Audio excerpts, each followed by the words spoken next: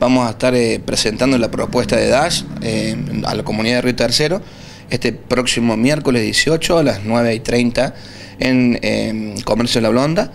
Eh, va a ser para todas las autoridades de la ciudad y grandes comerciantes y bueno, que puedan asistir a, conocer el proyecto que estamos desarrollando en la ciudad. ¿Qué trayectoria, qué tiempo, qué antigüedad tiene eh, esta manera de operar, por lo menos aquí en Río Tercero, a partir de tu inquietud y de haberlo traído a este lugar?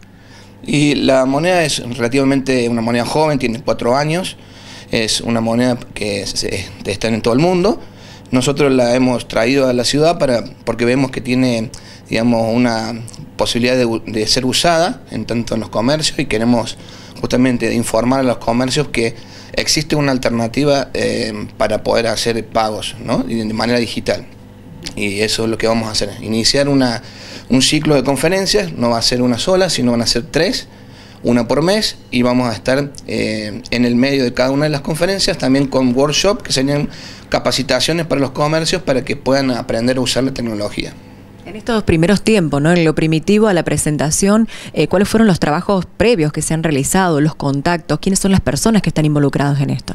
Bueno, el equipo de trabajo somos seis personas, cuatro eh, somos de acá de Río Tercero, dos son de Córdoba y nos hemos juntado trabajando ya hace más de tres meses, hicimos varias, varios trabajos previos y fuimos eh, seleccionados dentro de una lista de propuestas a nivel mundial para poder este, eh, hacer esta presentación a nivel local y no solo con la amplitud, digamos, de, expansión a nivel eh, nacional.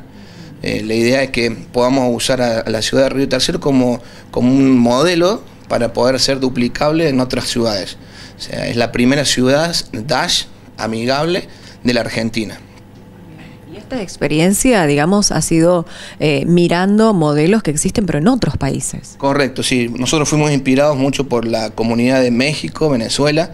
Eh, yo ya venía estudiando todo este proyecto de, expansión de criptomonedas ya hace más de un año atrás y, me pregunté por qué no en Río Tercero, ¿no? Somos destacados por muchas cosas en la ciudad y dije, bueno, podemos ser eh, destacados por adaptar la tecnología de manera temprana y ser ejemplo para otras ciudades. ¿De dónde proviene eh, esto de que se llame Dash esta moneda?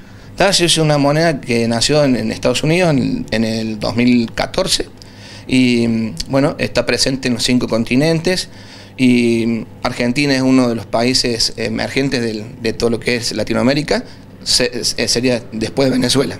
Eh, ¿Qué está previsto para el miércoles? ¿Presencia de algunas personalidades que nos puedan llamar la atención aquí a los riotercerenses? Y van, o sea, en este, en este primer evento vamos a estar nosotros como equipo del staff y ya para los próximos eventos ya vamos a tener visitas de, del exterior.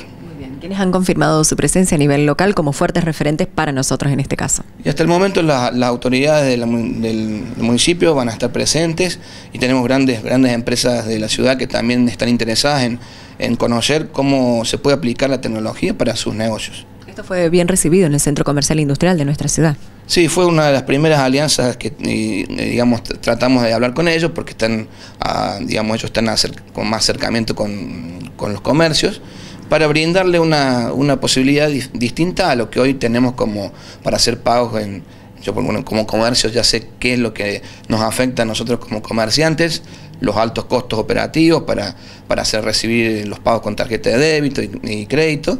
Y bueno, esto viene a ser una, una alternativa diferente a la hora de, hacer eh, pagos.